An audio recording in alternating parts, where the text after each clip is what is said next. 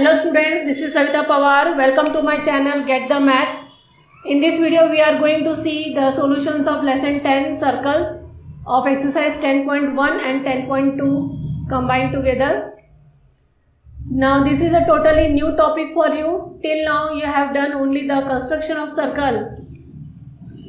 Here we are going to study some new concepts about uh, circles, its related terms and properties, theorems of the circle. So what is a circle? The collection of all the points in a plane which are at a fixed distance from a fixed point in the plane is called as a circle. So here O is a fixed point of the circle and if you join all the points which are at a fixed distance from O, we get a circle here. So at least there should be three non-collinear points in a plane that will determine a unique circle. The fixed point of the circle is called as the center of the circle. A circle is a two-dimensional figure drawn in a plane. It divides the plane on which it lies into three parts. They are the inside of the circle that is called as the interior of the circle. Then the circle itself, this is called as on the circle. And outside the circle, that is called as the exterior of the circle. So the points which lie in the interior of the circle, inside the circle are called the interior points. The points which lie on the circle, they are called as the circle points and the points which lie out of the circle area that is called as the exterior points. The circle and its interior together are called as the circular region. Now let us see the terms related to the circle.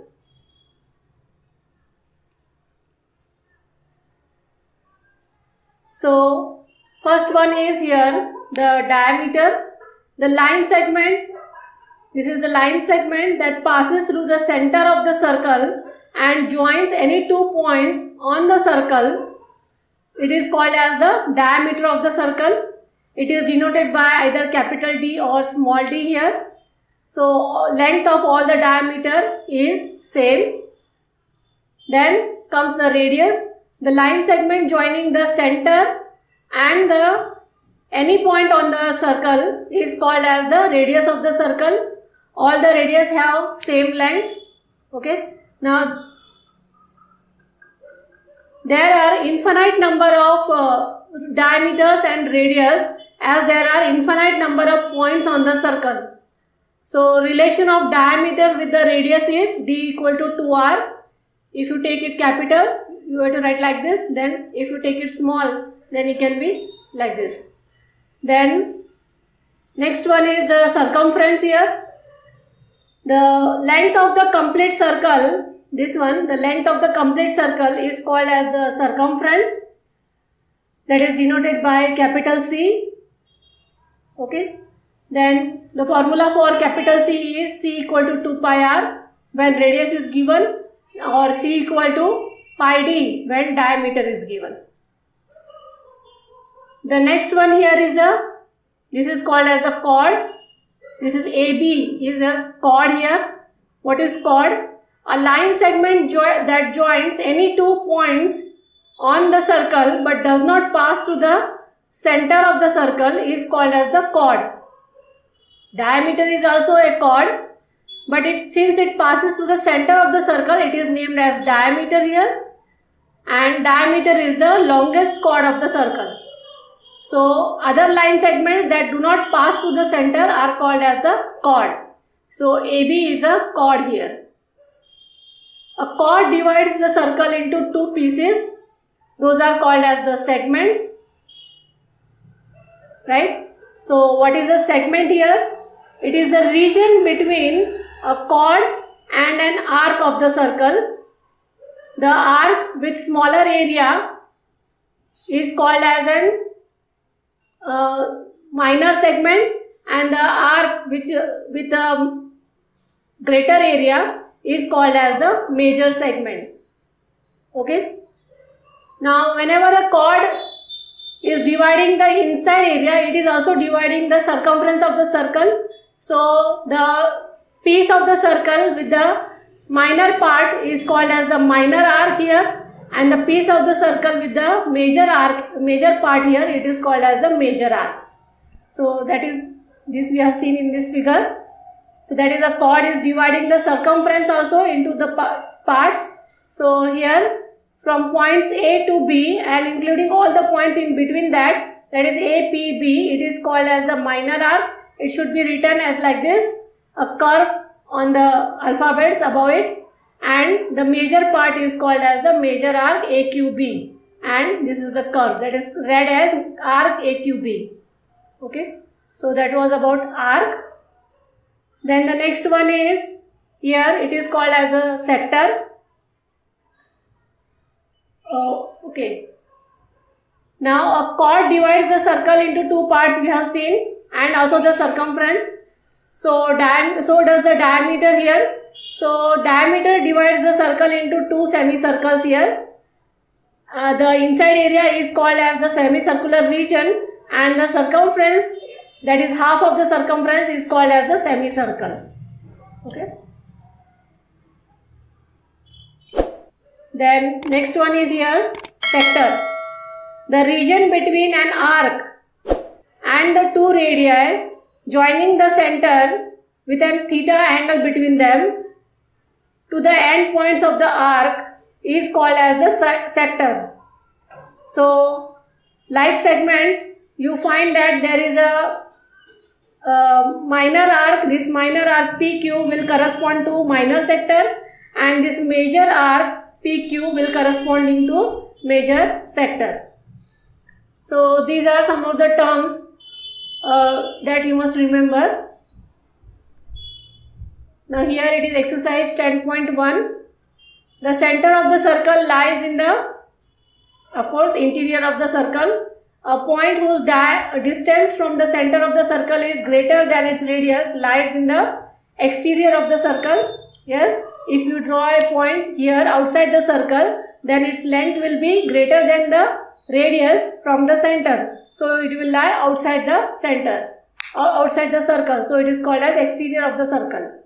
The longest chord of the circle is diameter. An arc is a dash when it ends are the ends of the diameter. So an arc will be a semicircle when its ends are, this arc will be a semicircle when its ends will be the ends of the diameter. Segment of a circle is the region between an arc and a chord. This now we have seen here. This is the segment. It is the region between an arc and the chord. A circle divides the plane into three parts. This we have seen above that a circle divides the plane into three parts.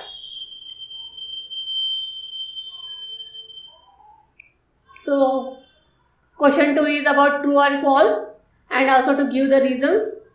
First one is line segment joining the center to any point on the circle is a radius of the circle. So, it is true. That is the line segment joining the center and any point on the circle is a radius. Right? And you have to write the reasons to here. So i have written as distance of center from any point of circle is called as a radius. Next one here is a circle has only finite number of equal chords so it is false a circle has infinite number of equal chords here so as there are infinite number of points on the circle, so there are infinite number of chords too and they are equal to. If a circle is divided into three equal arcs, each is a major arc. So that is false here. So here are the three points, they, they are equidistant from each other here. Okay. So the major arc always is a semicircle and if we take three points, its length will be smaller than the semicircle here so that is therefore it is false. A chord of a circle which is twice as long its radius is a diameter of the circle. So it is true. So a chord whose length is twice the diameter that is 2r then it is called as a diameter. Twice the radius then it is called as the diameter. Sector is the region between the chord and its corresponding arc. So it is false here. So this is sector is the region between an arc, this one and two radii. Okay. So if you want to write here sector, it should be arc here instead of chord. And if we write chord here, then it should be here segment. Then next one is a circle is a plane figure. Yes, true. It is a plane figure. It is a two-dimensional figure lying between x and y axis.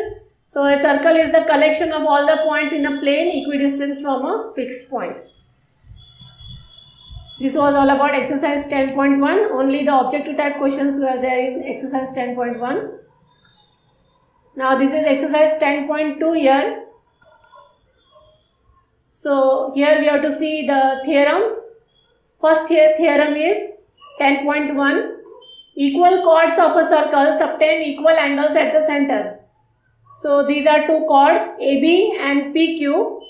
So if we join those chords and the radius corresponding to that then the length of the chord is equal here so they will correspond they will subtend equal angle at the center that is this angle O AOB and angle POQ are equal and theorem 10.2 is that is converse of 10.1 so if the angles subtended by the chords of the circle at the center are equal then the chords are also equal. So if it is given that if the angles subtended by the chords of the circle are equal at the center here if this angle is equal AOB is equal to POQ then AB is equal to PQ okay? Now let us prove those two theorems here. That is exercise 10.2. Recall that two circles are congruent if they have the same radii. Prove that equal chords of the congruent circles obtain equal angles at the center. So these are two circles C1 and C2. They are congruent. So here we have to prove that equal chords. The chords have been given equal. So the angle that is formed will be equal at the center that you have to prove. So this is given two congruent circles C1 and C2 AB equal to PQ that is chords of C1 and C2 respectively and to prove is that the angles subtended by the chords at the center are equal that is angle AOB is equal to angle PXQ that we have to prove. So here I have shown only the triangles here that is AOB is equal to PXQ that we have to show. So consider these two triangles now AOB and PXQ here here AO is equal to AO equal to PX that is the radius of the circle. Okay. Again BO is equal to QX that is also the radius of the circle. And the third one it is given that the chords are equal. So AB is equal to PQ that has been given to you in the question. And therefore the angles obtained, therefore the triangles are congruent by SSS axiom that we have studied in the lesson congruency of triangles and therefore by CPCT we have to write that AOB will be equal to PXQ here. Therefore the angles are equal and therefore hence proved that equal chords of congruent circles obtain equal angles at their centers.